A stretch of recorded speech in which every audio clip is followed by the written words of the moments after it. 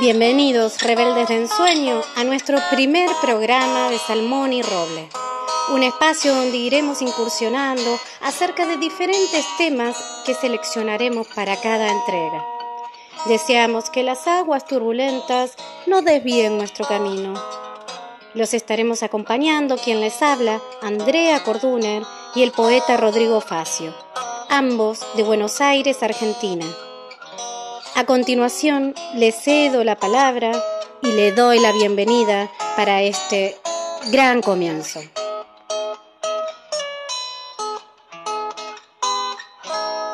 Hola a todos. Mi nombre es Rodrigo Facio.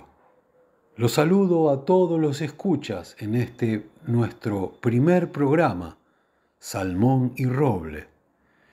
Tocaremos diferentes temas, en este caso las técnicas de la escritura.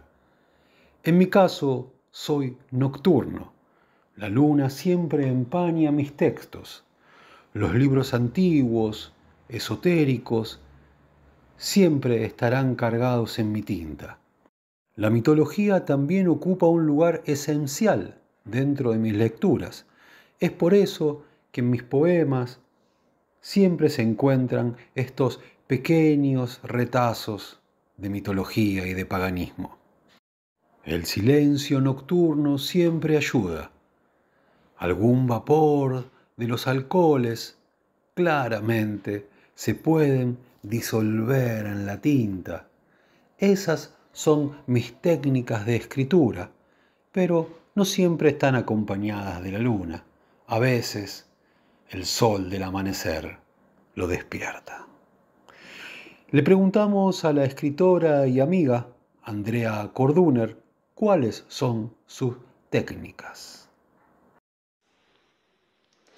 Bueno, les cuento mis técnicas. En mi caso, em, suelo tener tres herramientas para la escritura. Eh, una son las emociones, eh, la otra es la empatía y la otra es la percepción. Eh, cuando me refiero a las emociones, eh, siempre hay una emoción que despierta un poema. ¿Sí? Es sentir, sentir esa emoción que estoy teniendo en el momento y que de manera inmediata hace que pueda escribir distintos versos y vaya armando un poema eh, que despierta esa emoción. Otras veces, cuando intento escribir sobre algún tema en particular, utilizo mucho la empatía. La empatía es ponerme en el personaje de aquella persona a la que quiero representar. Eh, siento como esa persona, como hacen los actores, y me pongo como una especie de actuación. Empatizo, empatizo con, esa, con ese ser y desde ahí escribo, este, como si tuviera las emociones, las emociones de ese ser, y desde ahí puedo escribir un texto. Eh, muchas veces lo utilizo para, para casos donde tienen que ver con este, con empatizar con, temas sociales, de carácter social.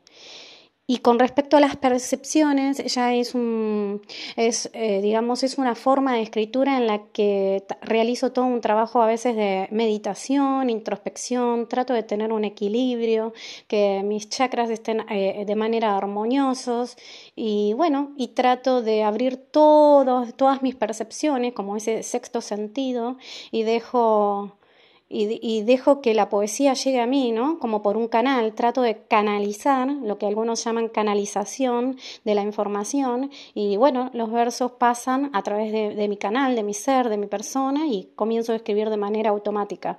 Bueno, ese es un ejercicio que cuesta un poco más y que bueno, a veces los poemas pueden venir desde, desde lo que estamos percibiendo, ¿no? Que muchas veces este eh, uno se predispone más en la naturaleza, cuando puede percibir todo lo que lo rodea. Este, bueno, esa es, una de las técnicas que utilizo bastante. Eh, y después hay otra técnica que me gusta mucho que es la contemplación, eh, es contemplar algo en particular, ¿no? Como por ejemplo contemplar este, las hojas de un árbol caer, contemplar el agua, contemplar el fuego.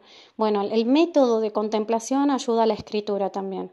Así que bueno, esas son mis técnicas y bueno, espero que le ayuden algunos escritores, ¿no? Este, para que también puedan, puedan escribir o en los comentarios nos puedan contar cómo, cómo son sus técnicas o qué, qué les parece estas técnicas, si resuenan con cada uno de ellos.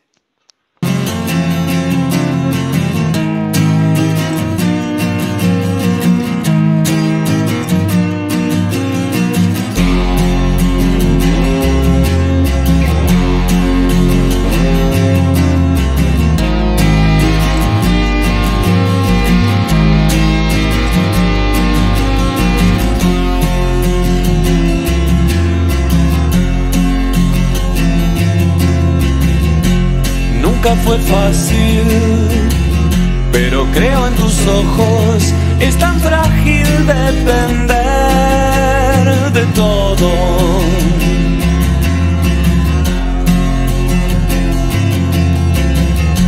¿Y cómo explicarte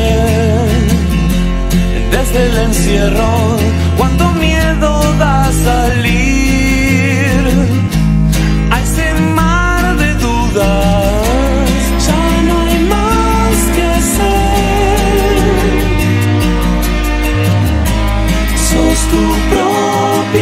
Ooh.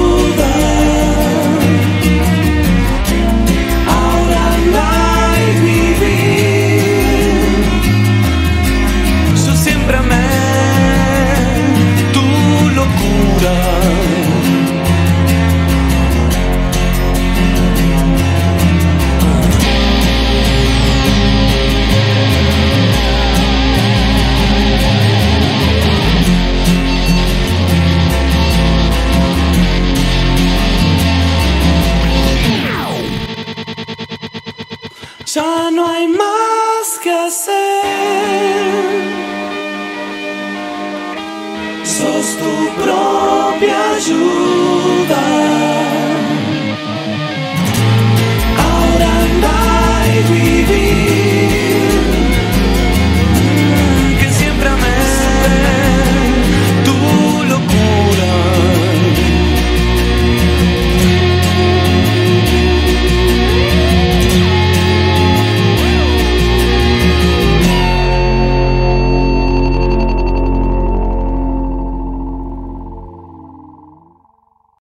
Voy a dar inicio a la lectura de poemas.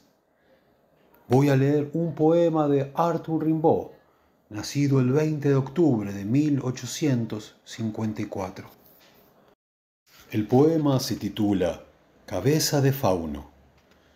En el follaje, estuche verde mateado de oro, en el follaje incierto y florido de flores espléndidas, donde un beso duerme vivo y aplastante el exquisito bordado.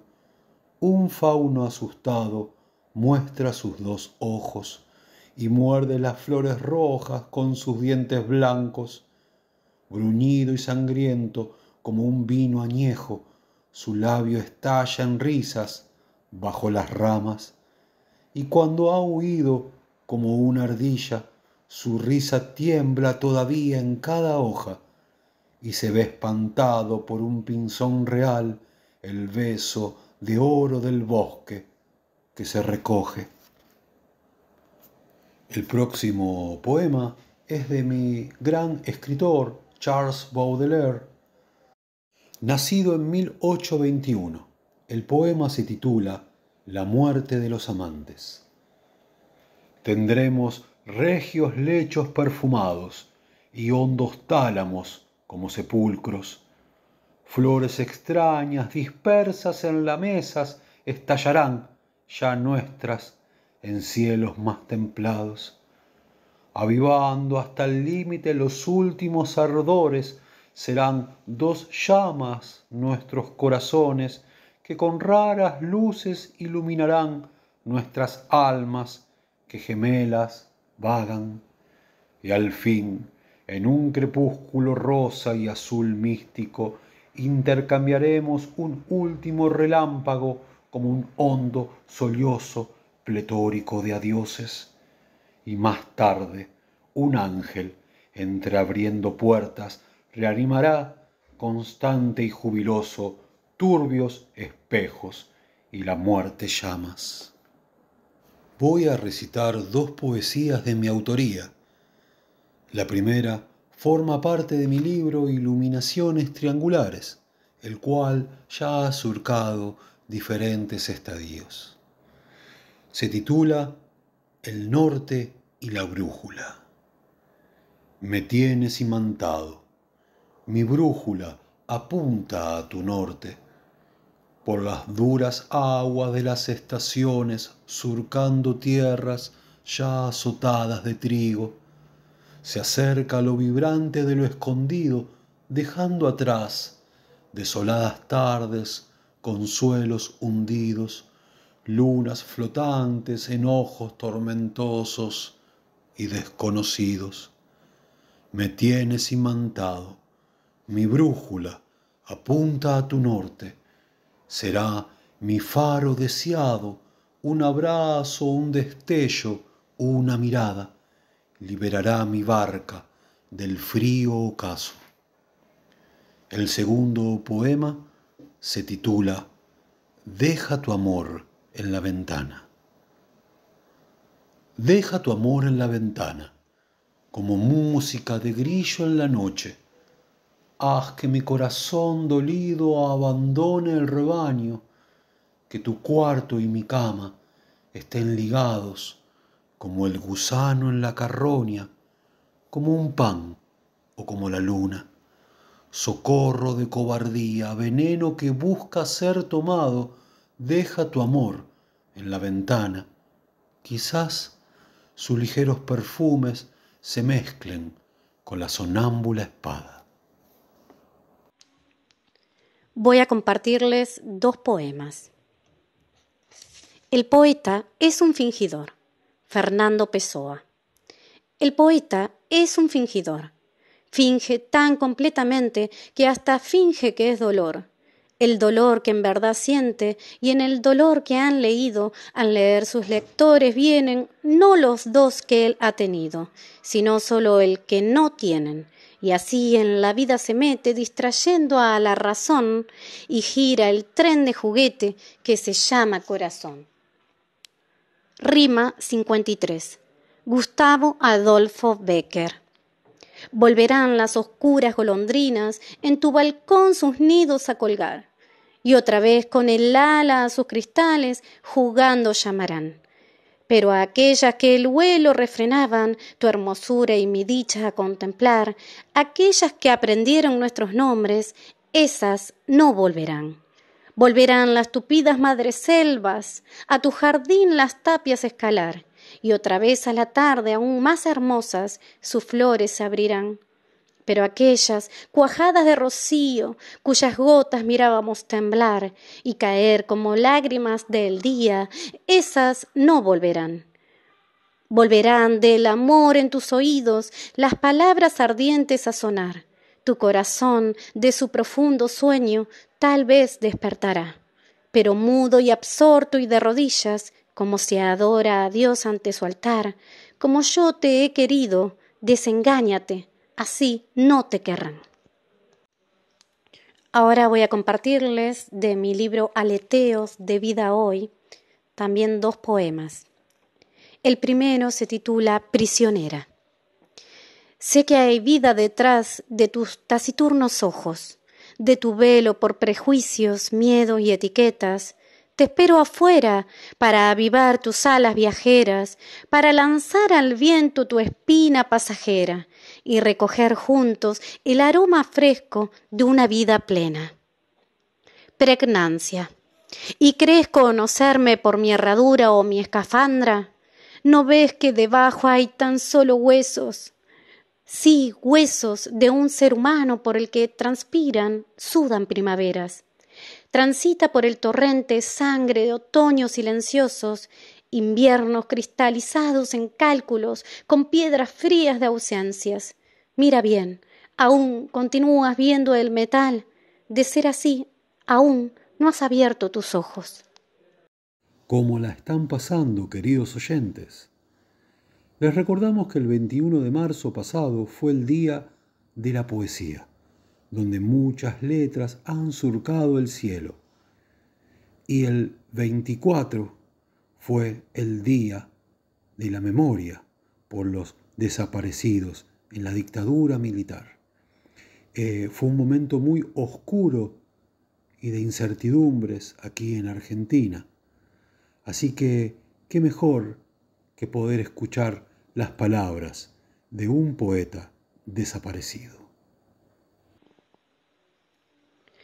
Como dijo Rodrigo Facio, voy a compartir con ustedes un poema del poeta Delfor Santos Soto, escritor, periodista y político comunal argentino, víctima del terrorismo de Estado, aún permanece detenido, desaparecido. El 21 de agosto, fecha de su secuestro, fue instruido como Día del Escritor Matancero en honor a su relevante e intensa labor político y social. Voy a compartirles el poema Yo seré de Delfor Santos Soto, dedicado a Betty, su compañera, esposa y madre de sus hijos, escrito en septiembre de 1972. Yo seré como un árbol en tu vida, aunque tú no lo sepas. Seré ese árbol que crezca en tu camino, como una antorcha verde, como un montón de tierra que se yergue hacia arriba para alcanzar el cielo, como un río despierto, como un soldado agreste que inmóvil te vigila. Cantaré en tus mañanas, doblándote a mi viento, durmiéndote en mis ramas, cuidando tu camino y seguiré plantado ahí, aunque me olvides, aunque quieras marcharte, aunque quieras cortarme, te atarán mis raíces, ya que tú me has sembrado en tu tierra, no podrás evadirme. Y en cada primavera regresará mi amor hasta tu savia, brotando en ramas nuevas. Esto fue Salmón y Roble, un programa para quitar los velos de la mirada. Esperamos que nos sigan acompañando y hagamos que la poesía sea nuestro único entendimiento.